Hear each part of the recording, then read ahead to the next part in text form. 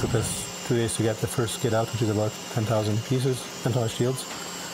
But now we're up to like eight, uh, eight skids a day. Masks can be difficult for some people to use, and if you'd prefer a face shield, you might be in luck, as one Winnipeg company is working on building 1 million of them this month. We've been a week and a half into the process and it's just ramping up. Before Safe Face Shields started the journey to 1 million face shields for a government contract, they were building them for frontline workers. We donated some at the beginning for some hospitals and some doctors, and they like the like the product, so we start improving like we get feedback from them. The federal government put out a tender for 5 million face shields and this winnipeg company is building a fifth of them.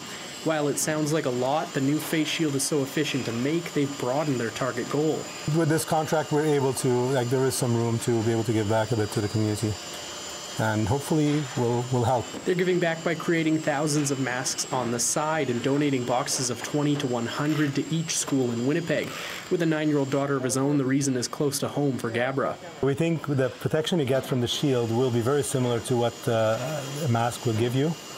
And with the, with the new shield that we're developing there, it's more it's quite discreet that that you can I guess I'll just switch to it.